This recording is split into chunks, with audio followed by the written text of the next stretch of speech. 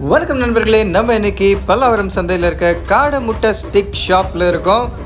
இங்கே காடை முட்டைகளை உடச்சி ஊற்றி குழிப்பணியார மாதிரி பொன்னிறமாக பொறிச்சு பெப்பர்லாம் போட்டு சுட சுட கொடுக்குறாங்க. அண்ட் அஞ்சு பீஸ் முப்பது ரூபாய் மட்டுமே.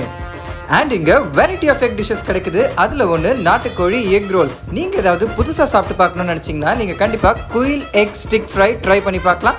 அண்ட் இந்த மாதிரி ஃபுட் வீடியோஸ் பார்க்கணுன்னா ஆசம் சாமானியன் சேனலுக்கு சப்ஸ்கிரைப் பண்ணுங்கள்